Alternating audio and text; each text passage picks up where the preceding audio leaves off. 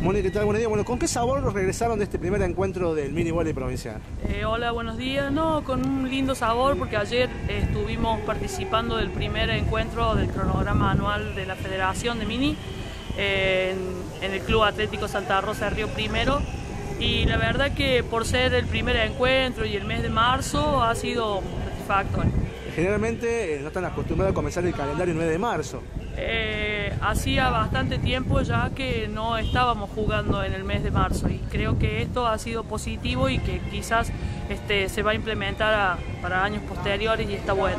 Me decías también que la experiencia ha sido buena también porque se han sumado equipos que no estaban generalmente o con los cuales no compartían por ahí la actividad de la jornada. La verdad que ayer tuvimos la posibilidad de enfrentarnos con equipos como Banco Nación de, de Córdoba y Luque y la verdad que está bueno te comentaba fuera de cámaras que Luque es un equipo de la Asociación del, del Este de Córdoba y, y la verdad que, que, que, se ve y marca mucho la diferencia con los equipos de la zona.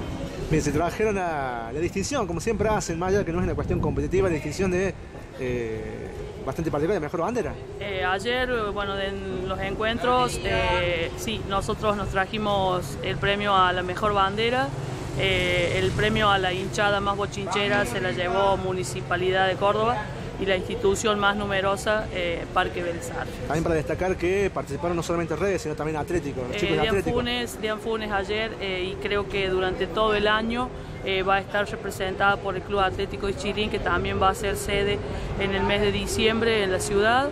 Y bueno, redes dianfunenses y esperamos que los otros equipos de la ciudad también puedan... puedan es una forma también de potenciar estar. al menos el mini volei. No, la verdad que desde Federación eh, ayer se nos pidió a la profe de Parque Vélez y a mí seguir estando como subcoordinadoras del mini volley y creo que la idea es esa, la idea es fortalecer y que en el, eh, siga creciendo en la provincia eh, el mini, ¿no?